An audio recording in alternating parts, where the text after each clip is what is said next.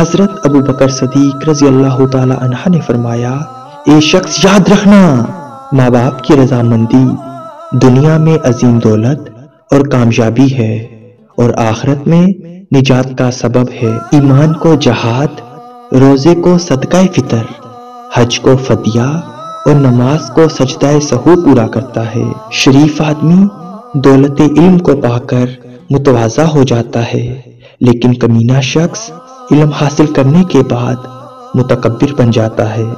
ए शख्स, उस दिन को आँसू बहाओ, जो तुमने बगैर किसी नेकी के गुजार दिया। हर चीज़, हर शे के सवाब का अंदाज़ा है, मगर सबर के सवाब का कोई अंदाज़ा नहीं।